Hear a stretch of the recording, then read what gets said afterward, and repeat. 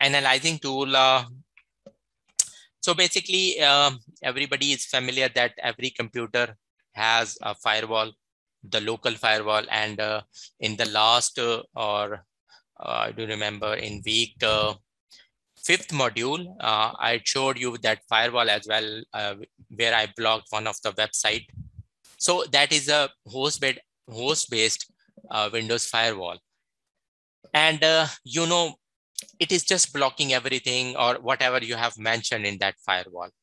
But sometimes you need to take a look of uh, those uh, logs as well. What is going on? What is happening? Maybe if you are working as a network administrator in your production environment, you are running kind of application and you are confused that what is the thing that is stopping that, you know, that application means why firewall is stopping that. So you can use this uh, very good and simple tool, which is known as ZLAN. So uh, if you want to download uh, that log file for, for, for, your Windows firewall, this is a path. You can go see Windows System 32 log files and then firewalls. You will get uh, a notepad kind of uh, file which is mentioned like p firewall.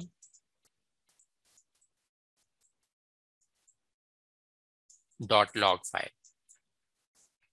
Which you can just you know import into this zlan to just take a look which i'm going to show you. So just a minute. Let me start that file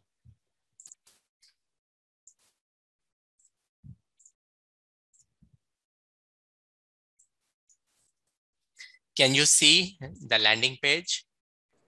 Yeah. Yes. yes. Yeah. So there is not so much going on. You can see it's a blank, but what you need to do, you need to go edit settings and then under browse, you need to browse that file that I mentioned that I have already uh, copied and pasted into my desktop. So click on that open and click OK. So still there is nothing going on. What you need to do, file, run F5. Just click on uh, either press F5 from the keyboard or just from the file, hit run. So very quickly, it will show you uh, a lot of details, uh, like when that data is arrived, this is all the information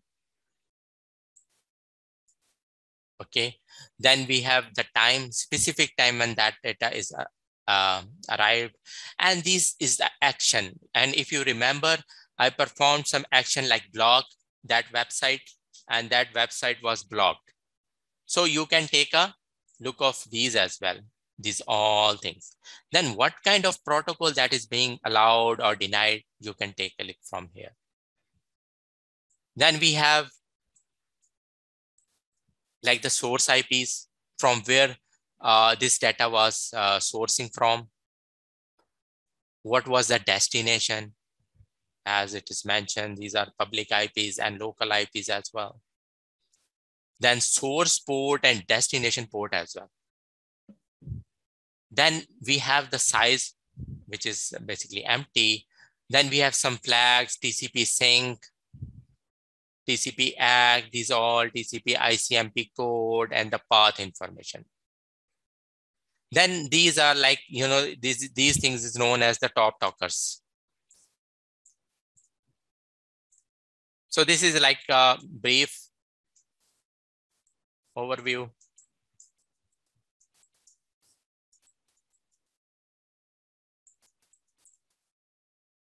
This is known as the top talkers what are the top talkers or the application that are in process or being used. And this is just the GUI.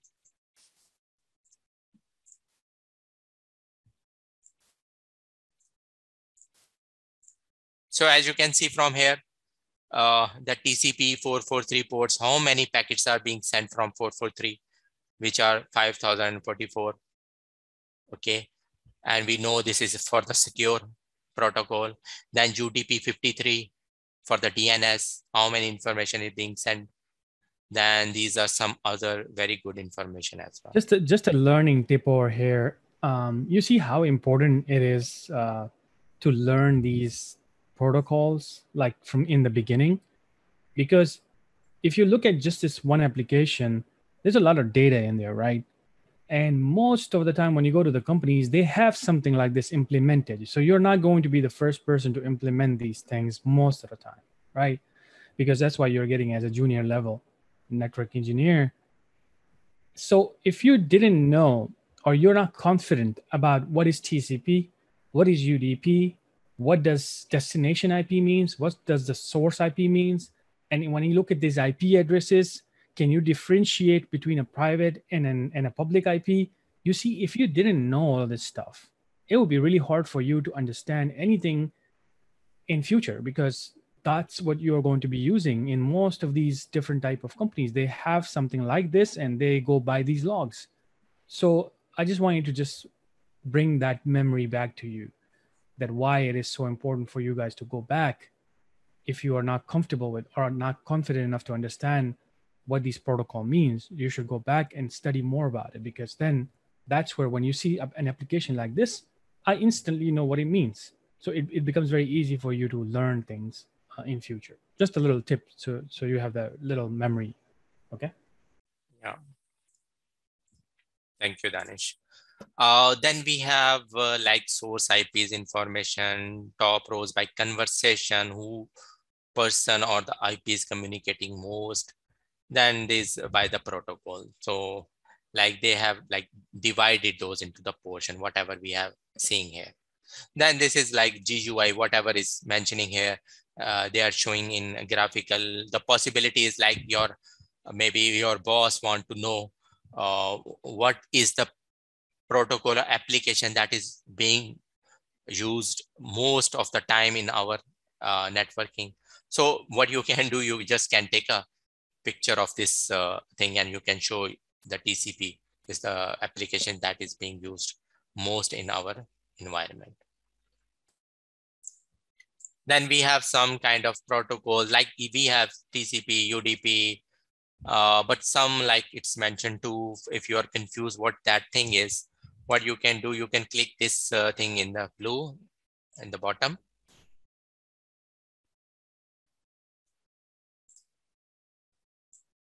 and then you can come under the pros protocols. Yeah. So if you are confused what that two thing is, you can correlate it with this one, which is which is IGMP, stand for Internet Group Management Protocol.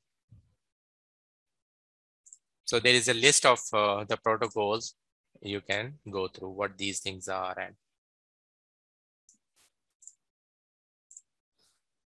okay so another uh, part uh, which uh, let's show you very quickly, which I'm talking about the Splunk. So what Splunk is, Splunk is also very similar like this ZLAN, but this is a lot like it is having uh, a plethora of information inside it you can play with. So Splunk is used for monitoring and searching through big data. So if you have like for in this ZLAN case, you have, you know, a very bunch of data, but in case of Splunk, you might have, as mentioned, the big data, like in a GBs. So you can do indexing, correlate information in that container, uh, make it searchable and make it possible to generate alerts, reports, and vi visualization. So everything is possible in a Splunk. So very quickly, I will show you how it looks like. So this is like, uh, you know, web-based application, but you need to install it on your uh, own device. And uh, this is how you are gonna access this, access it using 127, which is uh, your own IP with the 8000 as a port. So you need to enter your uh, credentials here and click sign it.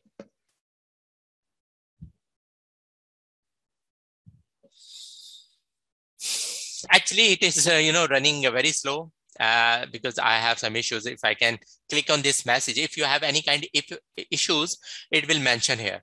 It's saying that minimum free disk space is this. reached by C program means uh, if I can show you my computer and you will see everything is flooded.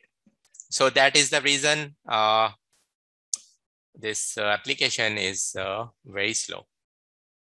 If I will remove some files from that, then it will work very fast. So this is how it will look like.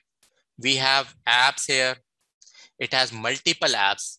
It will just not do search and reporting or uh, monitoring and analysis. If you click on this find more apps, just click on that.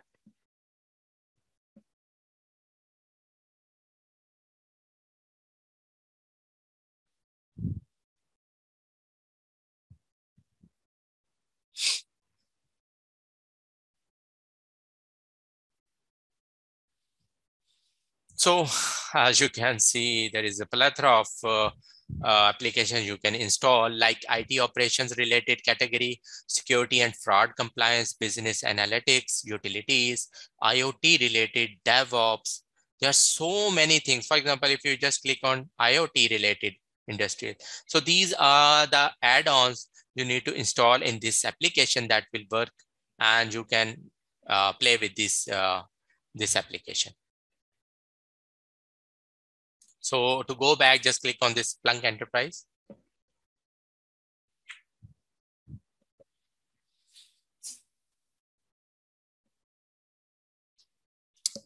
Then uh, uh, these are the few tags. I just you know walk you through about these things very quickly because this is very advanced. If you want uh, self-paced study, you can go through and you can dig deep about uh, this application, Splunk, what it does. Uh, so this is administrator tag. You want to change some kind of preferences. For example, you want to change the look and feel. For example, if I go preferences in a global settings, uh, you can change the time zone as per your location. Then we have a default application that is home. For example, if some person is uh, so much into Python kind of thing or monitoring console of things, he can select monitor console and apply these settings. After that, if you will go onto the dashboard,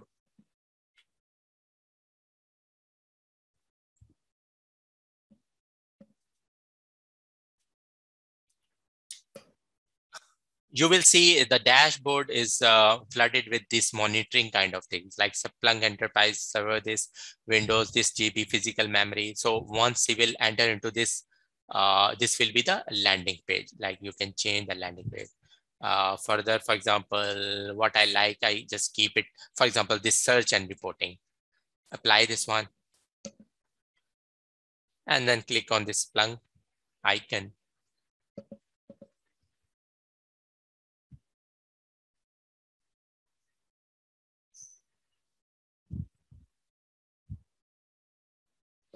Now you can see uh, the look and feel has been changed. So you can just quickly, uh, quickly uh, whatever you want to search uh, about the logs, monitoring to or something like that, uh, you can do it from here. Then we have under settings, we have knowledge base, database, uh, systems, user and authentications, uh, any roles or users you can create from here, any kind of licensing thing you can do from here any kind of like data inputs you can do from here or any kind of like events, tags, fields, all the information you can get from this one. Uh, this is the same monitoring console that I showed you earlier. If I click on that one.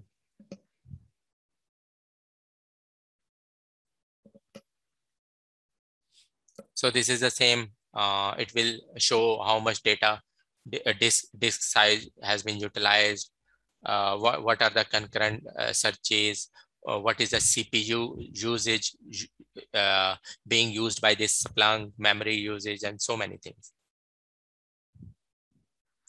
Then under settings, if you go to this add data, this is the most important part. If you click on this one,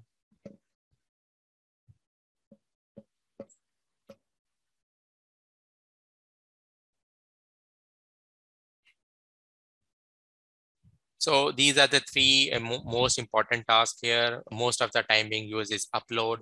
Then we have monitor and forward as well. This is just like uh, uh, the Danish talked about uh, the agents. So you can install the forwarder into the host machines as well. That will basically generate the logs and will be sent to this Splunk machine.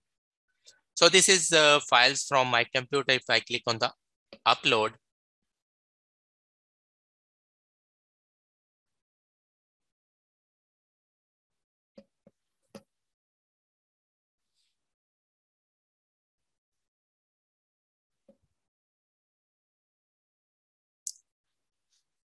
Uh, this, so this is a select source. Like in case of Zlan, what we did, we uploaded the file, which is pfsense uh, dot log file. So the same thing you can do from here. You can like select this, for example, this uh, any access log file, and then uh, you can click next. I will not gonna do because I know uh, I did it and it stuck because uh, because of the, this uh, size.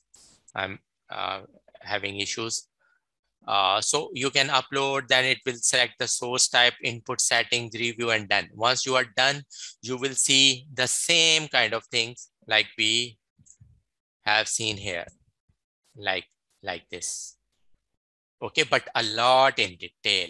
Here, the problem is you cannot do indexing, you cannot search, you cannot merge two fields. Okay, so in uh, Splunk, basically, this is just like a relational database systems if you are familiar with. You just can merge two uh, things together just to uh, make it one. So you can take a decision on the basis of two items.